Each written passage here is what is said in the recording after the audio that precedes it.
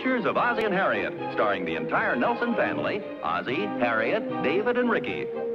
Here is Ozzie, who plays the part of Ozzie Nelson. And of course, his lovely wife, Harriet, as Harriet Nelson. The older of the Nelson boys, David, appears as David Nelson. And his younger brother, the irrepressible Ricky, played by Ricky Nelson.